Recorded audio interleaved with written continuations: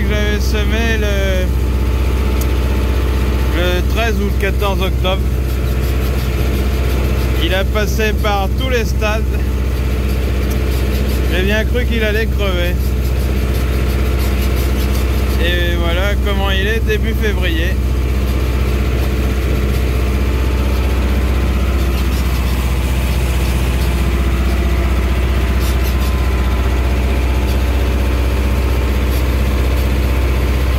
Et on voit là, euh, c'est un peu moins poussé. On voit même les résidus. Ici, là, euh, il y a de l'eau qui passait tout à- totalement en travers. C'est comme le fossé est bouché à l'autre bout, bah, l'eau passe euh, ailleurs. On voit il est moins épais, mais bon, il y a du blé quand même, là ça restera. Et puis voilà, les résidus de févrole.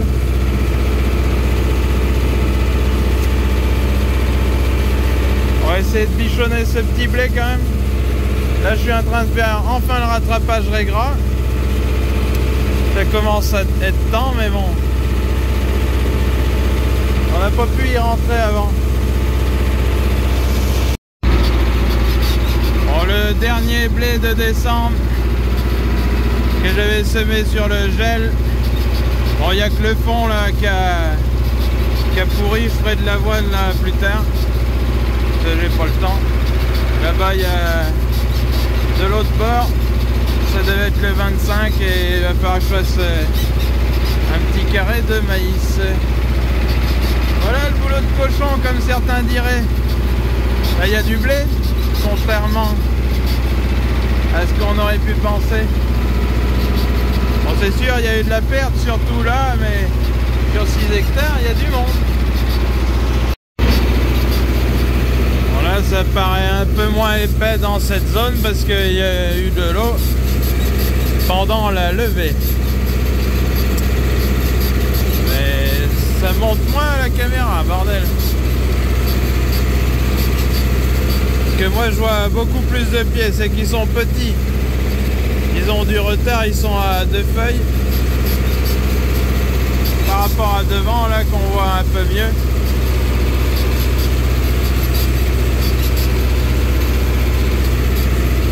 Sinon, c'est les conditions idéales. Depuis le 2 décembre que c'est semé, euh, j'ai jamais eu les conditions pour rentrer dans cette parcelle. Soit trop d'eau, soit trop froid, soit trop de vent. Alors ce début février, on en profite. Et de toute façon, l'azote, ça sert à rien. Vous voyez, c'est un second blé, là. bah, il n'y a pas du tout, enfin il y a trois feuilles, euh, deux trois feuilles, ça sert à rien de se faire chier à mettre de l'engrais. Et il y a quelques herbes parce que ils ont beau dire euh, il n'y a pas de régras euh, en ce moment au mois de décembre, si si il y en a un peu. Pas beaucoup mais de trop. Toujours de trop. Parce qu'un pied, ça fait 500 pieds de régras l'année d'après. Minimum. Et ça, je peux vous dire que la graine, elle se perd pas. hein. Que dans le fond, là-bas, où j'avais gueulé, il y a eu 1m50 d'eau pendant deux mois. Ben, Dans le couvert était mort et le régras était toujours là. Heureusement que j'avais débouché cette putain de bus parce que ici, là, euh, il y aurait au moins 3 hectares de morts. Et en fait, il y en a que que 10 heures de mort, on va dire. Bon, la chinte est pas chouette, mais qu'est-ce qu'on en a à cirer Il y a du blé quand même, il va, pousser. Euh, Les anciens disaient, le blé, faut le voir euh, joli dès, le mois d'avril. Avant, euh, des fois, tu as un champ vide, tu as l'impression qu'il n'y a rien. Parce que là, dû semer à 300... 350 grammes mètre carré 2 décembre.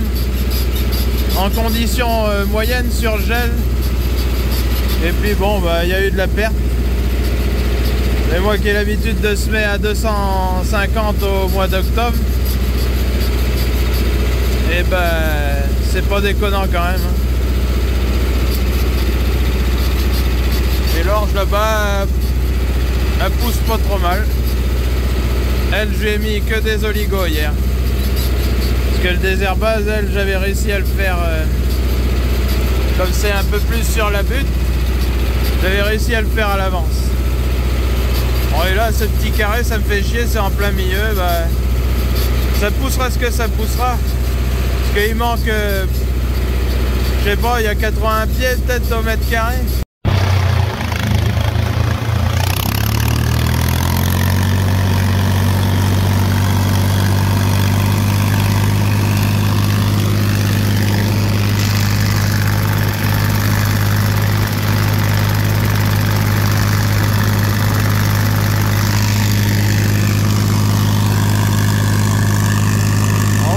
Rapport euh, sur les orges. Ça a mouillé 14 mm cette nuit. Bon, ça a l'air d'aller. Le blé là.